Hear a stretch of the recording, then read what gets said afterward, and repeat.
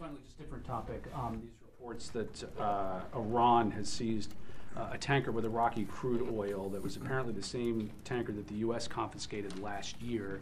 Uh, do you have anything, any details to share on that and whether or not the U.S. is going to get involved and trying to persuade Iran to give it back or, or get it back? Sure. Uh, I know our colleagues at, at NavCent uh, sh- will, will likely be putting out some more details on this shortly, but what I can tell you is that today uh, the Islamic Republic of Iran Navy unlawfully seized the Marshall Islands flagged oil tanker St. Nicholas while the vessel was transiting the international waterways of the Gulf of Oman.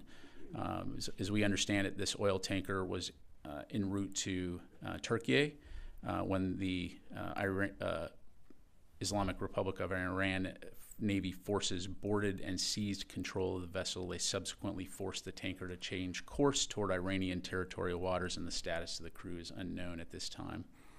Um, clearly, uh, this activity is contrary to international law. Uh, it's another example of Iranian malign activity threatening security and stability in the region, and we call on Iran to uh, release the, the tanker and the crew immediately. Thank you. Janie.